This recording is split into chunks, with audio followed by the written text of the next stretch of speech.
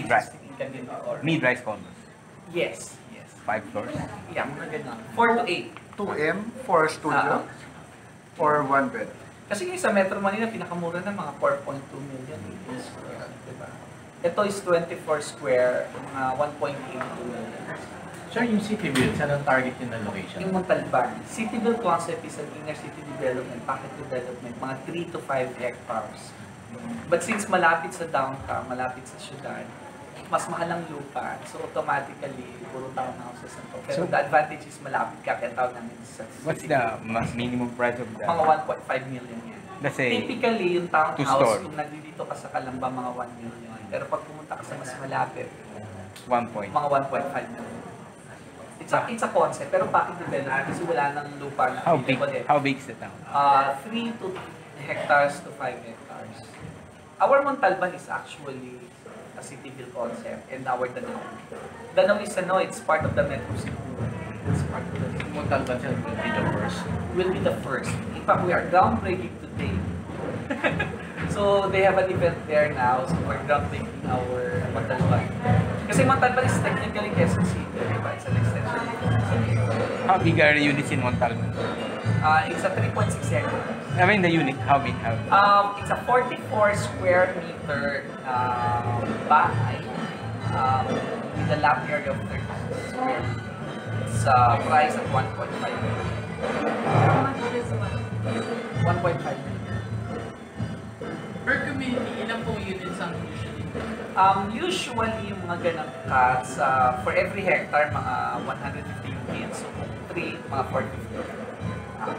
Most it's a small affordable. development. Most affordable house. Most affordable house namin is named Eliana. It's a socialized housing, 550,000. Ito yung ina-advertise namin, 1,897 monthly. Through pag-ibig. Saan siya located sir? Um, in most of our projects meron. It In still projects available? meron. Yung kalamba namin meron. Ito kasi sold out. This one is sold out. So, the one in Mahada is, uh, meron kami ganung mga project, ano, uh, houses.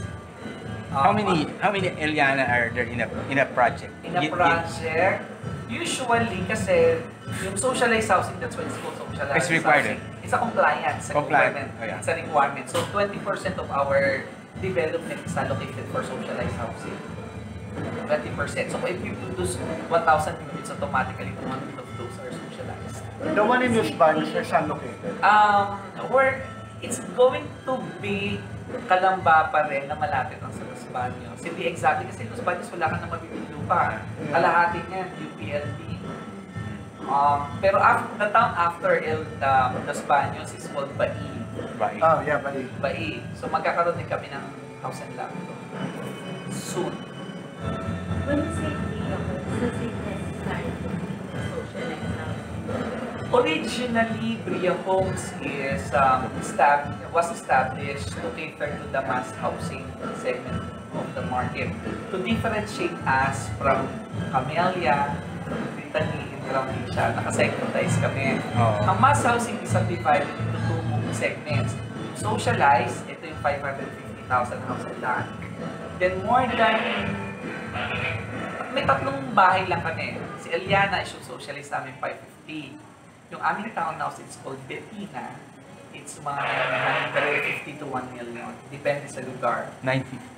950 to 1 million. Tapos yung aming single detached, ang pangalan ng bahay niya si Alexa. Ah, si Alexa. Depende sa lugar, 1.3 to about 1.5 million. Sa ngayon. Kasi ang economic housing ang mga 1.7 eh. Ah, By yeah. the rule ng gobyerno hanggang 1.7. So pasok pa kami doon. Kaya lang in areas na walang camellia, sayang naman, we will be launching our Bria Homes Premier. So mas malalaking bahay, we will cater to the 3 million segment already.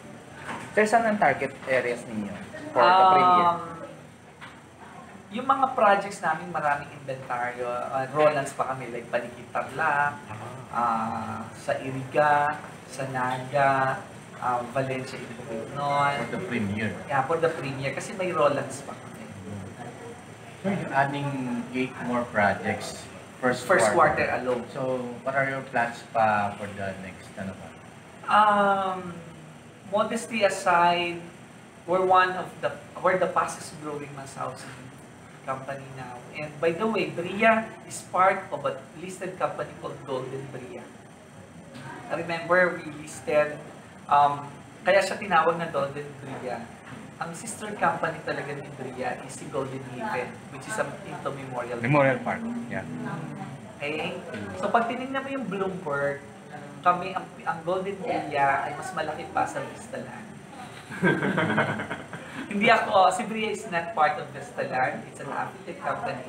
Pero si Bria is anak ni Golden Bria, Golden Bria Holdings There's- kapatid ni Bria Homes ay si Golden Haven Memorial Park. Uh, you complement Vista, uh, Camellia, no?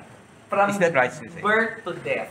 Uh, birth You complement, ano? Do you From complement? birth to death. Yeah, birth to death. Pinanganak sa sa Bria ka, pinanganak. Sa Golden Haven ka. Dok Ililibe. Yun yung joke namin sa Golden Bria, from birth to death. Kasi it's a- but, by the way, Golden uh, Golden Haven is, um, is one of the largest memorial parks. Wow. Ang dami na rin yung mga How much parks is your land bank right now?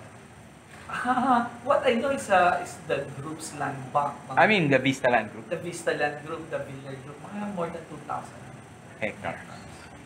We have um, inventories for the next couple of years. Are Sir, target niyo pong other provinces na sa tingin niyo maging potential Ako tingin ko, still Mega Manila. Mega Manila is composed of NCR, the Metro Manila, plus the adjacent six provinces. In the south, it's Laguna and Batangas. In the north, it's Bulacan and Pampanga. In the west is um, Cavite. Kasi pagkatas ng Cavite, ano na, dagat na. Oh. And in the east, it's Rizal. Katapusan na rin kasi bundok naman. so yan, plus the big cities, Davao, De Oro, Butuan, Dumaguete, Cebu, um, Iloilo, Bacolod. Still, nandun pa rin naman ang tao. The center of our economy, unfortunately, is in the, in the big cities. How much is your capex for the eight projects? For the eight projects, Give me a ballpark. Um, project value wise, that's around uh, 15 billion. Project value. Ano yung advantages of getting a Bria home compared to other socialized housing? Uh, we summarize our brand pillars into five. Sabi namin, well, when we started three years ago when I took over Bria, um, kasi nobody knows Bria. Mm. Let's face it, masikat si Camellia, si Lumina, si Provincial Britain and residences. Then Bria came into the picture. Nobody knows Bria. The first thing I did is to put the home name. Kasi who's Bria? Hindi naman pa ako 90. Parang sabi ko nga, Camellia even, nag, nagsimula yan, Camellia Homes. Pero ngayon, naging generic siya. Tanggalin mo man si Homes, Camellia stands for for home.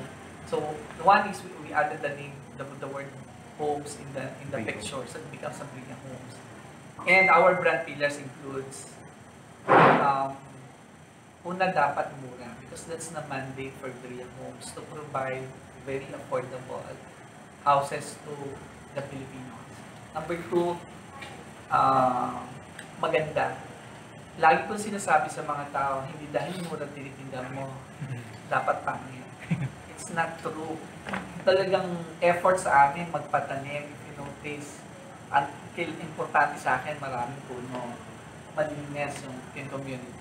Number three, we try to do, uh, to, we're looking for properties that are malapit. Dapat malapit sa sa sentro, hindi dahil mura, kailangan ng pamasahe. Ang kalaban mo kasi sa mga mass housing, pamasahe, ilalagay ng mga kusinong developer sa pagkalayo-layo.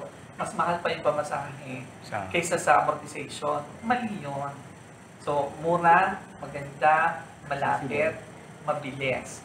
Mabilis ang turnover kasi hindi pwedeng magsabay ang renta sa amortization. Okay? Um, at maganda, ano, mabilis na serbisyo. We want our home buyers to feel that they are special to the brand, to the, the Bria community. So again, mura, maganda, malapit sa lahat, mabilis, mahusay na serbisyo. So yun po ang malaking pagkakaiba. Siguro ang malaking pagkakaiba, nandito dito.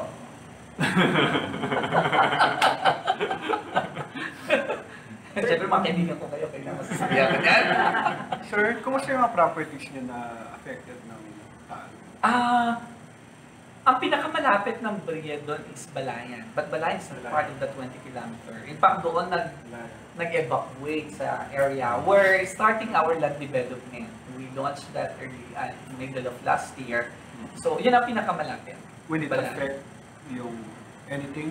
Well, uh, we're hoping, we're hoping, kasi like ang Agoncillo talaga at Lemery, yun ang pinakamalapit, even part of Calacay, so affected. Baka lumipat sila sa Balayan. Sabi ko nga sa mga sa marketing ko sa Balayan, dapat marami kayong benta. Not, not because, not for anything else. Ako'y taga Lemery, apektado po yung ancestral laws namin. Pero do we have a choice? Tapuento is both Agoncillo and Lemery is nasa ibabaw ng magma. Wala naman dating Lemery. Ba, noong 1911. It's a part of the Balayan Bay. So, do we have a choice? I don't know. Right now po, hindi namin alam. Sa totoo lang, ang family ko is naka-evacuate sa San Jose, Batangas, sa bahay ng sister ko. Ibisitahin ko tatay ko mamaya. Nakakatawa lang sa tatay, hindi ko kwento. Sa bungero kasi Batangas. So, nung naglilikas kami, yun ang kauna-unahan yung dagat. Mga, tanda. Pero problema nga namin kasi dalawang pansabong yun. Saan siya ilalagay? Kailangan mo ng manok umalis. What's your market profile? The, For- the market, your market. What's the profile? For the Bria, For the Bria.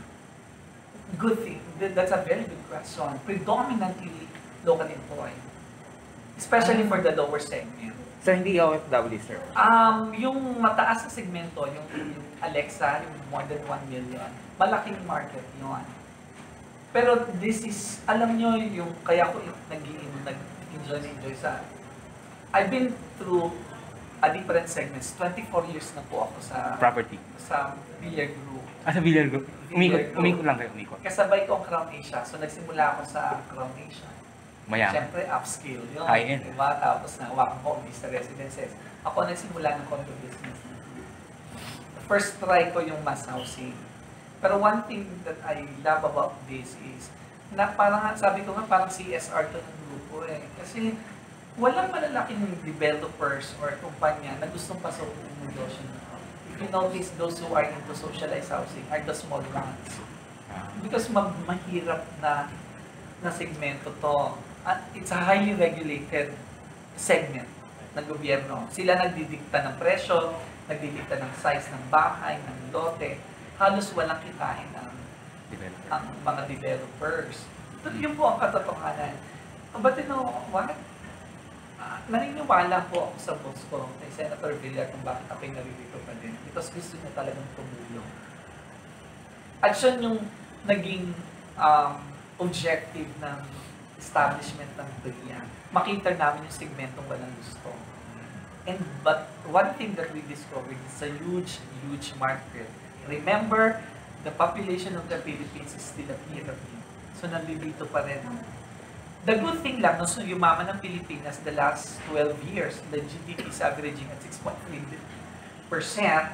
yumaman po talaga ang mga Pilipino. Hindi lang yung nasa taas, but yung mga tao dito sa baba na dati walang trabaho, the, the, the poverty incident is going down from 24, 27.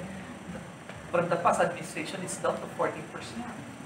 So anong ibig sabihin na nagkatrabaho yung mga tao dito at ito yung bumibili ngayon ng mass housing, especially yung maliliit na bahay namin.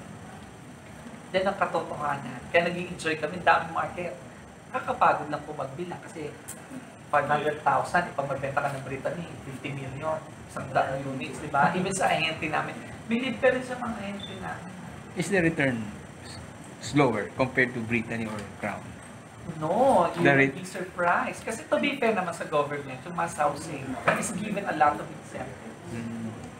So kung mababa man yung top, yung profit mo, pero wala ka namang taxes, so, na-offset yun. Pagalingan lang sa pag, pagmamanage. Kaya nga lagi ko sinasabi, kailangan yung BRIA should live up to the to the objective. Bakit tayo naririto? It's murang pabahay para sa mga Pilipino. Because wala naman, o walang gustong pumasok sa negosyo niya. Pero kawawa yung mga Pilipino. The backlog of how about the industry, 6.5 million last 6.5, count.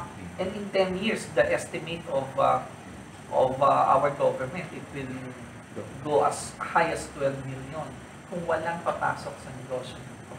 Mabuti na lang po may mga uh, may mga ilang ilang players, especially the small ones, uh, through OSDAP, kung ipa, if I may promote OSDAP, sila talaga yung nagcha-champion sa market. It's an organization of Organization of Socialist and Economic Housing Developers, where which BRIA and Lumina are part. How about Sheda? Is it helping on? Shedder is a more open market, so mas mataas, mas Ah. kamelya sila. Ang OSDAP talaga po yung nagcha-champion.